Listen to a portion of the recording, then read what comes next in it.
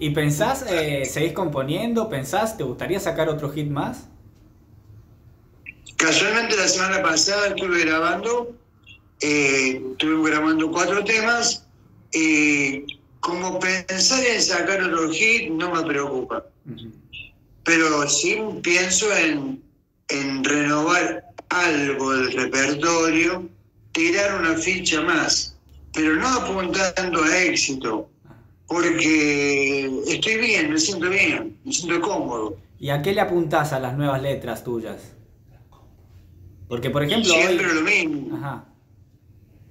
Siempre lo mismo, al amor, a las cosas que, que pasan, a las cosas que se desean. Siempre lo mismo. Yo hace 58 años que hago lo mismo y lo voy a seguir haciendo porque me ha ido bien. Simplemente que lo vamos refrescando, lo vamos mejorando, eh, una cosita acá, otra cosita allá y nada más. Porque hoy al público lo que menos tenés que hacer es confundirlo, aturdirlo. Ya demasiado problema la gente tiene acá y es como dijiste vos recién. Yo voy a compartir un asado con un amigo y ¿qué va a poner? Algo que te guste. Hablaste de, la música nueva. ¿Qué sentís o qué te genera por ahí ver un elegante ahora, ver un Duki, ver esos géneros que, que escuchan los jóvenes? No. Respeto a toda la gente que consume eso. La respeto mucho.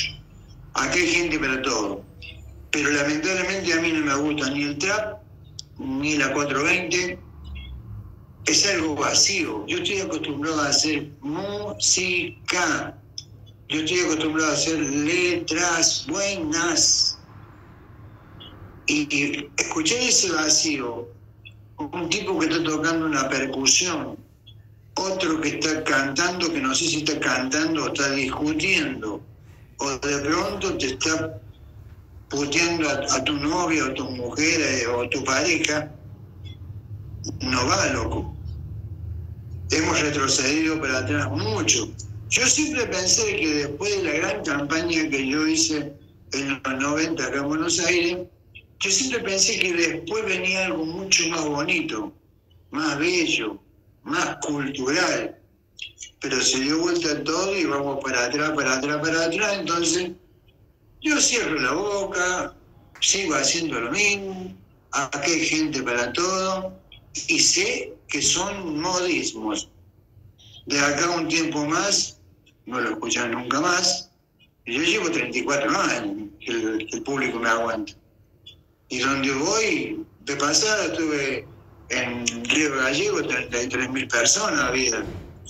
Yo, entonces, voy bien a pesar de mi edad, voy bien, tengo, tengo ese feeling que me llevo bien con la gente, con la juventud, muy, muy bien.